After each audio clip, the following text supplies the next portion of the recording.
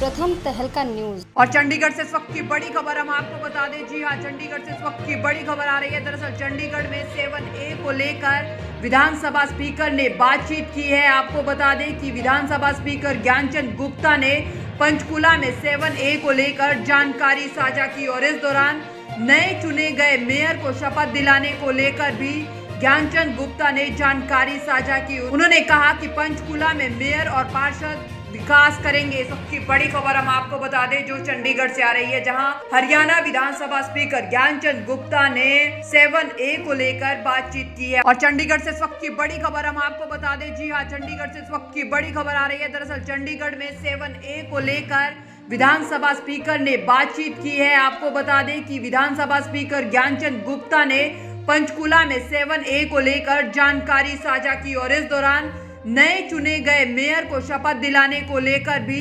ज्ञानचंद गुप्ता ने जानकारी साझा की। उन्होंने कहा कि पंचकुला में मेयर और पार्षद विकास करेंगे। सबकी बड़ी खबर हम आपको बता दें, जो चंडीगढ़ से आ रही है, जहाँ हरियाणा विधानसभा स्पीकर ज्ञानचंद गुप्ता ने सेवन ए को लेकर बातचीत की है और इस दौरान उन्होंने क्या कुछ कहा, सुनिए। निश्चित तौर पर देखिए, सेवन ए का मुद्दा एक पंचकुला जिला के लोगों के लिए एक अहम मुद्दा है।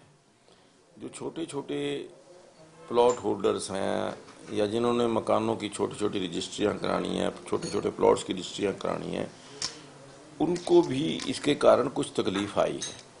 लेकिन सरकार का मकसद इसको नहीं, केवल जो अनऑथराइज कॉलोनीज डेवलप हो रही हैं, उन अनऑथराइज कॉलोनीज ना डेवलप हों रेगुलर वे से जो सरकार की चार्जेस हैं वो भर करके वो डिवेल्प हों ताकि हैफजर्ड ग्रोथ जो हो रही है उसको रोका जा सके। सेवन एक्स का, का मकसद यही है केवल कि पंचकुला जो एक डेवलपिंग सिटी है प्लैंड सिटी है उसके अंदर प्लैंड ग्रोथ हो। उसी को लेकर के ये सेवन ए का जो धारा यहाँ पर लगाई गई है। इसको आगे कोई विचार है सर कि हाँ देखिए मैंने लोगों को वैसे भी दिक्कत हो रही है। मैंने आदरणीय मुख्यमंत्री जी से बात की है कि हम छोटे छोटे जो प्लॉट होल्डर्स हैं या जो अपनी जिनकी व्यक्तिगत गाँवों के अंदर प्रॉपर्टी है उनको कोई बेचने के अंदर दिक्कत ना आए तो इसको दूर करने के लिए जल्दी ही सरकार निर्णय करेगी।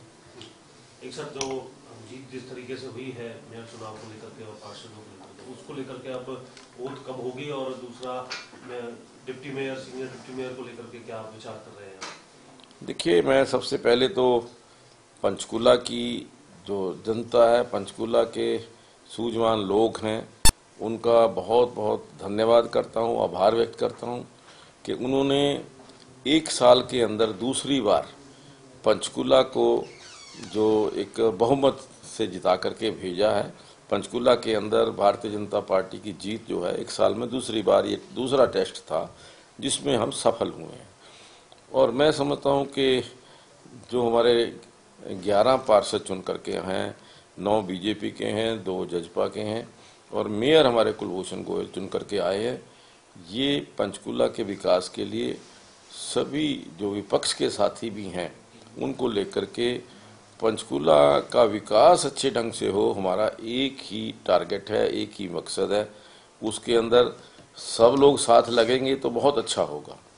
दूसरा, कल मैं समझता हूँ कि कल सायं साढ़े तीन बजे जो नए चुने गए मेयर और पार्षदों को ओथ जो दिलाई जाएगी वो पीडब्ल्यूडी रेस्ट हाउस जो सेक्टर एक के अंदर है पंचकुला में वहाँ पर उनकी ओथ होगी और उसके पश्चात जो आगे की प्रक्रिया है चाहे वो senior deputy mayor deputy mayor वो बैठ करके चर्चा करेंगे और उसके पश्चात उनके बारे में निर्णय करेंगे। देखिए चर्चा की बात है ये निर्णय हाईकमांड लेगी। उसके बारे में मेरा कहना कुछ भी संभव नहीं है।